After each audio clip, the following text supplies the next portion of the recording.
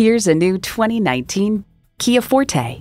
This Forte raises your expectations of what a compact sedan should be. It has a spacious interior, lots of amenities, and a lovable style.